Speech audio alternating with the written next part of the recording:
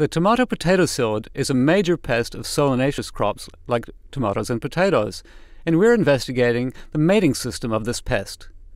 We can't hear the insects as humans, but we can eavesdrop on their conversations using a laser vibrometer, as we have here. The male on the left can hear the female psyllid that we've caged on the underside of the leaf. The male sits on the leaf vein and calls before pausing and listening out for the female.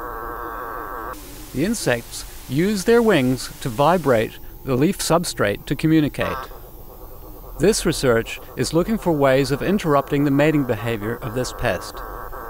The male actor in the lower right is an extra, and he has no speaking part in this drama.